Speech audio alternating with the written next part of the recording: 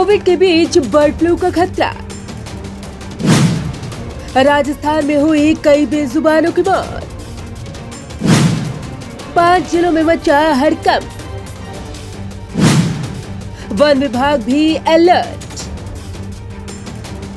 नया साल भी आ गया, मगर कोरोना का कहर अभी थमा नहीं था कि मुश्किलें और ज़्यादा बढ़ती जा रही हैं। दरअसल कोविड के बीच अब बर्ड फ्लू ने भी दस्तक दे दी है, जिससे खतरा और ज़्यादा बढ़ता नज़र आ रहा है, क्योंकि साल 2020 भी महामारी में ही गया और अब साल 2021 की शुरुआत में भी एक महामारी का खतरा मंडराता हुआ नज़र आ रहा है। साल 2017 में भले ही देश बर्ड फ्लू मुक्त घोषित हो चुका हो, लेकिन अब इस बर्ड फ्लू ने एक बार फिर से खतरा बढ़ा दिया है। लगातार हो रही कौओं की मौत। राजस्थान के जोधपुर के बाद झालावाड़ में भी बड़ी संख्या में कौओं की मौत का मामला सामने आया है। झालावाड़ में एवियन इन्फ्लुएंजा, जो कि एक तरह का बर्ड फ्लू है, से कौओं की मौत की पुष्टि के बाद राज्य में पोल्ट्री फार्म का बिज़नेस करने वालों में हड़कंप मच गया है। झालावाड़ जिला प्रशासन ने राड़ी के बालाजी क्षेत्र में एक किलोमीटर क्षेत्र में कर्फ्यू लगा दिया था। बालाजी क्षेत्र में ही 25 दिसंबर से लगातार कौओं की मौत हो रही है। यहाँ 100 से ज़्यादा कौओं की मौत हो चुकी है, जबकि बड़ी संख्या में कौए बीमार हैं। फ़िलहाल प्रशासन ने ये नहीं बताया कि कितने कौओं की मौत अब तक हुई है। जोधपुर से आया पहला मामला। राज्य में सबसे पहले जोधपुर में कौओं की मौत का मामला सामने आया था। शहर में राजीव गांधी पुलिस थाने के पास स्थित भूमिया की थान पर करीब एक हफ़्ते से रोज कौए मृतक मिल रहे हैं।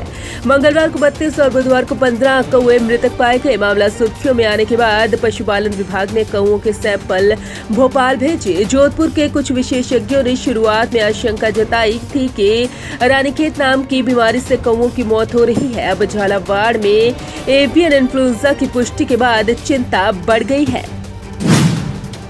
इंसानों को भी खतरा। एवियन इन्फ्लुएंजा एक तरह का बर्ड फ्लू होता है। ये वायरस जनित बीमारी है जो एक पक्षी से दूसरे पक्षी तक तेज़ी से फैलती है। इससे अधिकांश पक्षियों की मौत होती है।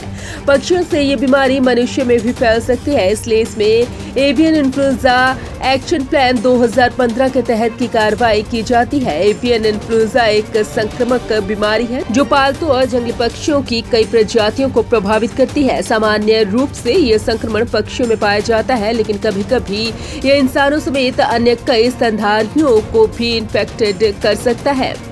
जब ये इंसान को संक्रमित करता है तो इसे इन्फ्लुएंजा कहा जाता है। बर्ड फ्लू मुक्त घोषित है देश।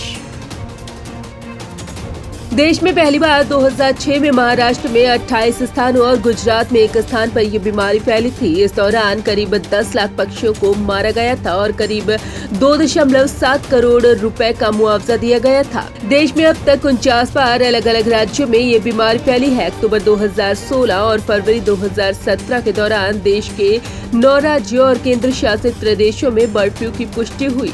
इसके बाद 6 जून 2017 में भारत के कृषि मंत्रालय ने एवियन इन्फ्लुएंजा H5N8 और H5N1 से मुक्त घोषित कर दिया था।